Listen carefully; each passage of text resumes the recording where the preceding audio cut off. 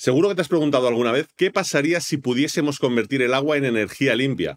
Y no, no estoy hablando de las centrales hidroeléctricas, me refiero a algo mucho más revolucionario. Estamos hablando del hidrógeno verde, ese nuevo oro energético que está haciendo muchísimo ruido en el mundo de las energías renovables. Imagina por un momento que pudieras alimentar tu coche, tu casa o incluso una fábrica entera utilizando solo agua y electricidad que viene de fuentes renovables. Sé que parece totalmente una utopía, pero resulta que es una realidad, aunque con algunos matices muy importantes que vamos a aclarar hoy.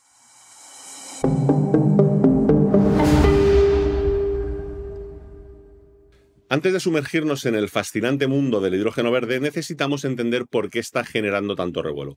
Estamos en un momento crítico porque el cambio climático nos está presionando para abandonar los combustibles fósiles, pero hay muchas industrias que no pueden funcionar solo con paneles solares o aerogeneradores. Por distintos motivos, desde la falta de potencia a la falta de espacio, ¿vale? No puedes poner placas solares en algo como un coche. Aquí es donde entra nuestro protagonista. El hidrógeno verde no es solo otro combustible más, es ese estudiante brillante que destaca en todas las asignaturas. Puede almacenar energía, transportarla, utilizarla prácticamente en cualquier industria y además no emite ni un solo gramo de CO2. ¿Demasiado bueno para ser verdad? Bueno, pues vamos a ver qué es lo que hay detrás de todo esto. Hace unos años me dieron la oportunidad de visitar una planta piloto de hidrógeno verde aquí en España. Eh, yo me esperaba encontrar algo casi sacado de una película de ciencia ficción porque conozco otros métodos de generación de hidrógeno y sé lo complicado que es y lo que implica. Pero esto era sorprendentemente simple. Unos tanques de agua, unos electrolizadores que parecían como una especie de neveras grandes, por decirlo de alguna forma, y conexiones a unos paneles solares. El responsable me dijo algo que creo que es muy significativo, y es que esto que ves aquí es el futuro, pero le falta bastante tiempo e inversión. Me recordó a los primeros días de los móviles. Todos sabíamos que iban a cambiar el mundo, pero nadie se imaginaba exactamente cómo. El hidrógeno verde está en ese mismo punto de inflexión. Tenemos la tecnología, tenemos su potencial, pero todavía nos queda un buen camino por recorrer. Vamos a entender cómo funciona todo esto. Como solemos hacer siempre, vamos a desengranar todo esto, pero pasito a pasito. El hidrógeno verde se produce mediante un proceso que llamamos electrólisis, que yo supongo que todos más o menos conoceréis, que básicamente consiste en separar el agua en hidrógeno y en oxígeno utilizando en este caso electricidad renovable. Es ese mismo experimento que todos hicimos en el colegio, el típico de coger la pila, los cables, el agua y que salen esas burbujitas poquito a poco, ¿no? Es como hacer magia con química, pero siguiendo las leyes de la física. Es un proceso aparentemente simple, pero que llevado a gran escala, bueno, pues tiene sus complicaciones. No es algo nuevo, pero siempre ha tenido un limitante, de dónde venía la energía, o en este caso la electricidad necesaria para poder hacer funcionar todo esto.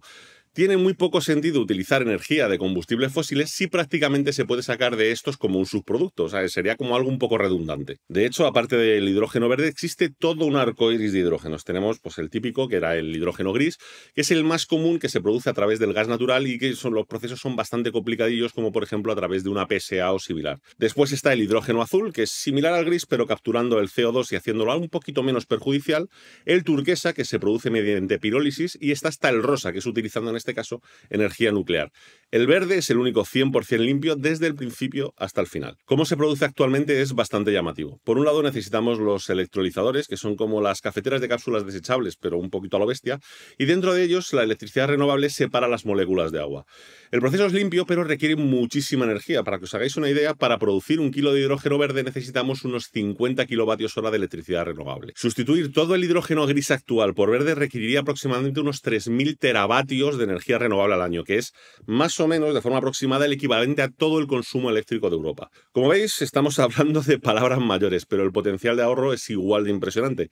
Podríamos evitar 830 millones de toneladas de CO2 anuales. Y de lo más interesante de este producto es lo versátil que es, porque puede utilizarse en industrias pesadas como la siderurgia, en transporte, especialmente en camiones, barcos y similares, e incluso para almacenar energía renovable cuando el sol no brilla o cuando el viento no sopla.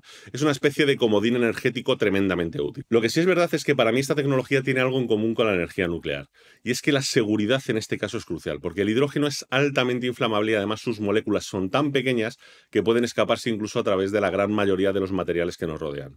Por eso se necesitan normativas específicas, sistemas de seguridad especiales, y es algo tan peligroso como manejar un gato ninja. Hay que ser muy cuidadoso. Además, las aplicaciones más prometedoras están en sectores muy difíciles de electrificar. Imagina, por ejemplo, aviones propulsados por hidrógeno verde o fábricas de acero que no emiten ni una sola gota de CO2. Ya hay proyectos piloto en marcha como la producción de fertilizantes sostenibles o el desarrollo de trenes de hidrógeno. Ahora enfoquémonos en un punto crítico de este tema. Pero no todo es color verde primavera en el mundo del hidrógeno verde.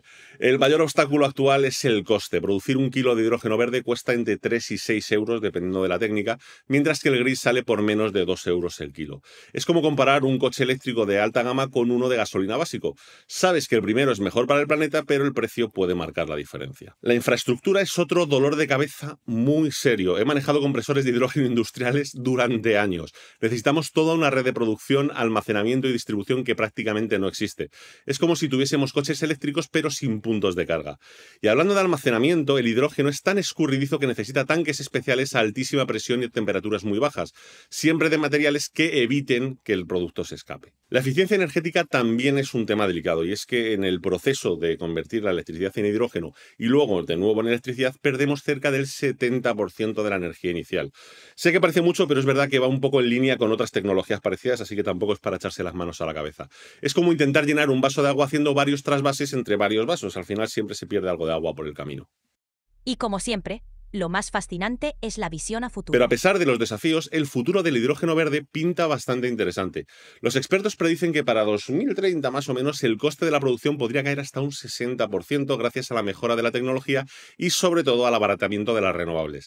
Es como lo que pasó con los paneles solares. Nadie los veía viables hace 20 años y ahora pues están funcionando bastante bien. Además, la innovación está acelerando muchísimo el proceso porque nuevos materiales como el grafeno, del que hablamos el otro día, están revolucionando el almacenamiento y introduciendo las fugas hasta un 83%.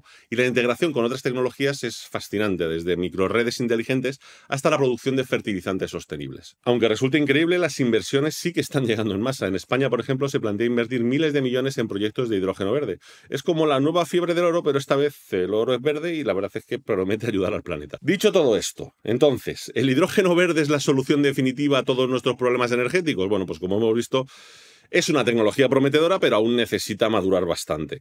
Es como Colapinto, que tiene mucho potencial, sabemos que puede hacer grandes cosas, pero necesita tiempo y apoyo para desarrollarse completamente. Y de nuevo, aquí es donde entras tú. Como sociedad, nuestras decisiones y apoyo a estas tecnologías marcarán el futuro. ¿Te gustaría ver más contenido sobre energías renovables? Déjamelo saber en los comentarios y si te ha gustado el vídeo, ya sabes, un like, suscríbete y activa la campanita para no perderte nada. Si quieres apoyar el canal, puedes hacerte miembro o unirte a nuestro Patreon. Nos vemos en el próximo vídeo. Un saludo. Chao.